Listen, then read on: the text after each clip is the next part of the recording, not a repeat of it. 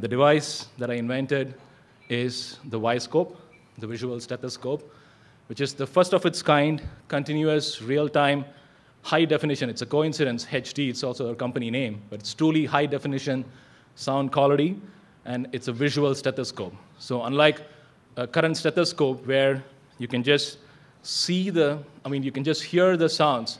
Here, you can actually see what you hear.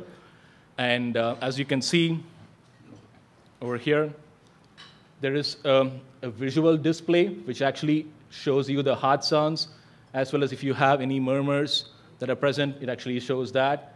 And the sound amplification is more than 30 times, and it can actually have the ability to detect murmurs and analyze the sounds and save them in a PC for serial studies and follow up, and also document the report, because that's one of the biggest problems with the stethoscope. It would never give you an opportunity to document. There is no paper trail.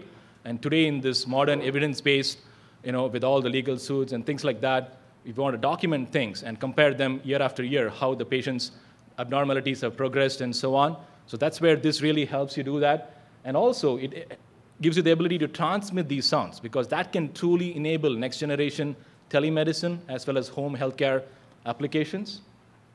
And so I've been using this device now intensely for a year.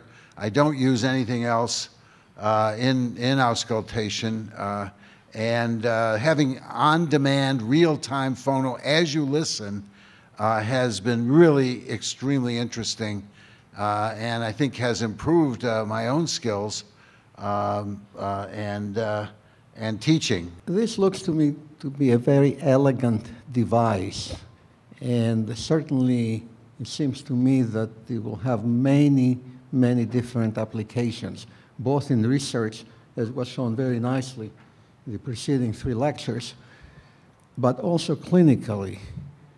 Uh, specifically, I think where I would think for my role, in my role as a teacher, uh, teaching medical students and house staff, uh, I think it would be very important uh, in helping the novice uh, time murmurs and sounds. It has been my experience that uh, uh, the most difficult thing many students have is to time a murmur.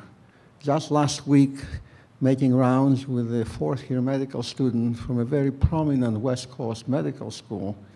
uh, she was totally, it was not ours. it, was not, it was not UCSF.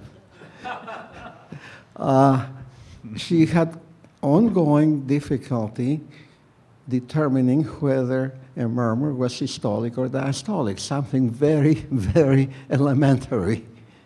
And uh, something like this uh, would be very helpful. Over the last 20 years, I've been um, uh, giving um, a standardized auscultation test to medical students, uh, internal medicine residents, and fellows. Uh, and uh, I can tell you that my results and the results of other people who have done the same thing uh, in the literature shows basically that we don't uh, teach auscultation very well, or at least people have not learned it very well. For the medical students, their ability to detect uh, the usual heart sounds and murmurs, uh, about 30%. The internal medicine residents get up to 40%, and the fellows get up to 50 to 60 percent. There is a gradient, but it's, it's uh, not, the slope is very small. Anything that focuses on trying to make the physician a better physician uh, is going to be valuable.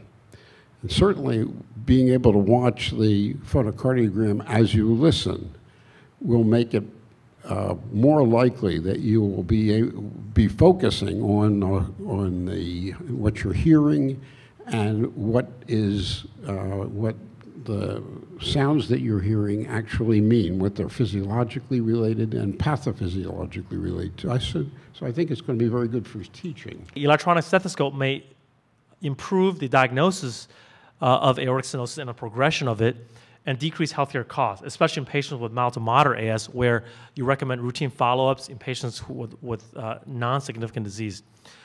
Now, I work at Kaiser Redwood City, and we get these emails once every quarter on um, the physicians and the ordering of echo tests per thousand patients. And there's no financial tie-ins with this, but I think the future of, of, of cardiology with healthcare reform is that there's going to be restriction, more, more and more restrictions on test ordering.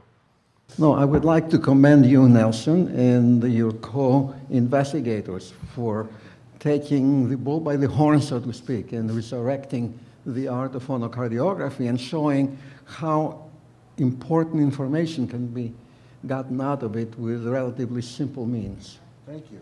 Thank you, and thank you.